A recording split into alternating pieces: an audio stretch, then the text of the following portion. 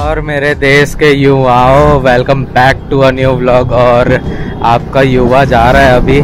प्रतीक भैया के पास, प्रतीक भैया के पास याद है आप लोगों को तो मुझे एक सामान लेना था अपने हेलमेट का माउंट तो वो फाइनली आ चुका है भैया, अपने पेज में अपडेट किए तो मैं सोचा चलो ले आते हैं भाई, ज़्यादा लेट नहीं करते, वरना फालतू का स्टॉक ख़त्म हो जाएगा तो फिर हम लोग को इधर उधर भटकना पड़ जाएगा। तो अभी हम लोग डायरेक्ट जाएँगे, प्रतीक भैया के पास देखते हैं, वो है कि नहीं शॉप पे। अगर होंगे तो उनको बताते हैं कि भाई हमने भी अपनी बाइक बुक कर ली है और बहुत जल्दी हम लोग ट्रिप ज्वाइन कर सकते हैं साथ में। तो इस वजह से बाइक नहीं थी, इस वजह से हम लोग साथ में कुछ कर नहीं पा रहे थे। वैसे भैया बोले थे, मेरी बाइक लेके चल। लेकिन अपने बाइक में जाने में ज़्यादा मज़ा आता है। तो इस वजह से थोड़ा डिले हो रहा है, लेकिन कोई नहीं, अब तो बाइक आने ही वाली है, थोड़ा, थोड़े दिनों का वेट है। तो फिर वापस ट्रिप मारना स्टार्ट। इस बहुत दिनों के बाद हम लोग आ गए वापस प्रतिक्रिया के शॉप। और ये देखो मेरा डब्बा लटक रहा है। और चलो देखते हैं।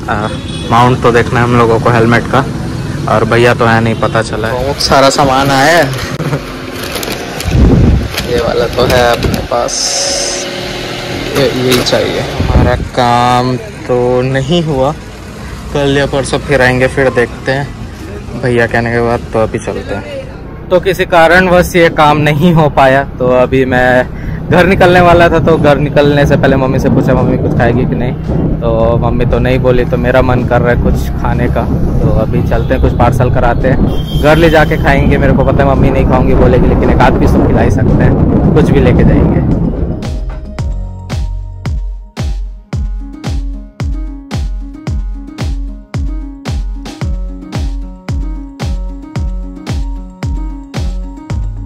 गाइस देख रहे हो, डब्बे के साथ मोमोज लेके जा रहा हूँ। एक बात याद आया मेरे को इससे, कि गाइस डब्बा तो आ गया जीवन में, लेकिन डब्बा देने वाली नहीं आई मैं मम्मी की बात नहीं कर रहा है, आपस, मैं आपस मज़ाक कर रहा हूँ, कोई सीरियसली मत लेना। सो यस अभी चलते हैं घर। मैंने मस्त कुरकुरे मोमोज पार्सल करा लिया है इंडियन स्पाइस से। और बहुत भूख लग रहा था मेरे को तो मम्मी तो नहीं खाऊँगी बोल दी फिर भी मम्मी को खिलाएँगे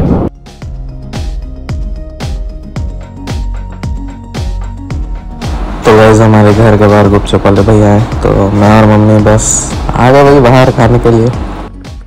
सच में बताऊँ तो मेरा इतना मन था खाने का लेकिन भाई भगवान ने सुन लिया आज तो। हाँ, आ खा।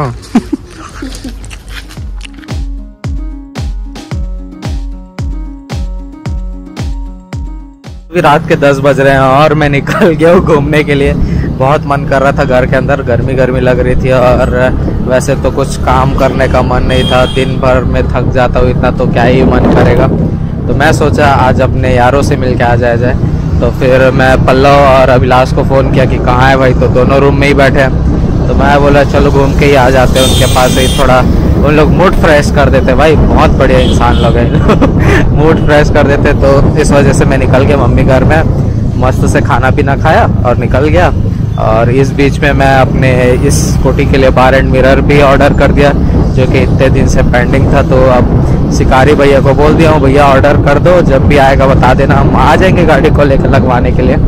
तो ये भी हो गया, और बस क्या, अब आगे की भी चीज़ों मतलब आगे भी जो गाड़ी आ रही उसके भी चीज़ों को धीरे धीरे मंगाना पड़ेगा। तो देखते हैं, वो सबको कब मंगाएँगे।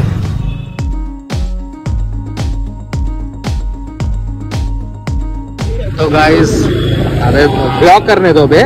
तो गाइस अभी हम लोग निकले हैं बस ऐसे ही रात में घूमने के लिए। आइसक्रीम ढूंढ रहे हैं वैसे तो हम लोगों को मिल नहीं रहा कहीं। और ट्रिपलिंग है तो वैसे तो हम लोग ट्रैफ़िक रूल तोड़ रहे हैं, लेकिन इसका पूरा श्रेय अरे रे रे रे भैया, थार वाले। हाँ तो इसका पूरा श्रेय जाता है अभिलाष पांडे और जुगनू भाई को। अभी कैफ़े है भाई। अरे अरे आइसक्रीम भी आइसक्रीम भी आइसक्रीम आइसक्रीम आइसक्रीम मिल गया आइसक्रीम।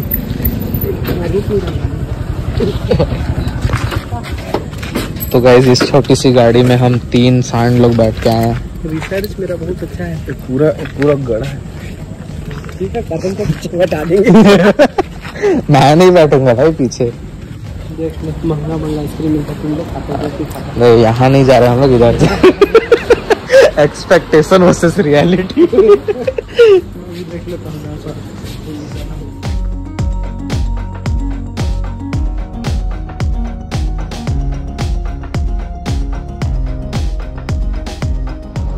तो गाइज़ एग्जैक्ट रात के 12 बज गए और काफ़ी मेरा मूड फ्रेश हो चुका है लोग के साथ रह के। ट्रली में लग ही नहीं रहा कि रात के 12 बज रहे हैं। अच्छी खासी भीड़ है अभी भी। शायद ये रीजन हो सकता है कि रात को भी थोड़ा ठंडा रहता है माहौल, और दिन को तो भाई इतनी गर्मी रहती है तो कोई क्यों ही निकलता होगा दिन में।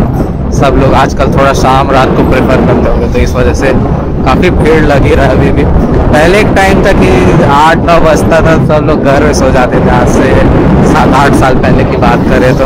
अब देखो तो भाई, रात के तीन चार बजे भी कोई ना कोई दिखे जाता है बाहर। सो काफ़ी अच्छा लगा मेरे को आज पल्लव और अभिलाष से मिलके। बहुत दिनों बाद मिला। दोनों भाई छोड़ देते हैं भाई मेरे को। और हाँ वैसे चलता है एक दूसरे को छोड़ते रहते हैं हम लोग तो उसमें कोई इशू नहीं है। सो so, वैसे कल का आ, मैं पल्लव को बोला कि साथ में कहीं घूमने चलेंगे मतलब नॉर्मल खाने पीने के लिए। तो कल का टाइम हम पल्लव के साथ रहेंगे सो यस इस पॉइंट पे ब्लॉग को एंड करते so guys this is it for the blog मिलते किसी और ब्लॉग के साथ किसी और दिन। तब तक के लिए this is me Karan Singh signing off and you were watching cut blogs मिलते हैं कल।